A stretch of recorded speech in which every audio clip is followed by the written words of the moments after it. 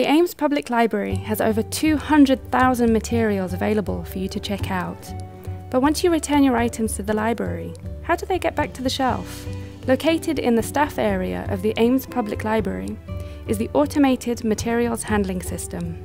Almost every item that is checked out eventually makes its way back to the AMHS. The automated materials handling system is able to check in between 200 to 500 items an hour by scanning and sorting them. The efficiency of the AMHS means customers don't have to wait as long for the books they want once they are returned. The best way to get materials back into circulation quickly is to utilise the book drop in the alley on the west side of the library.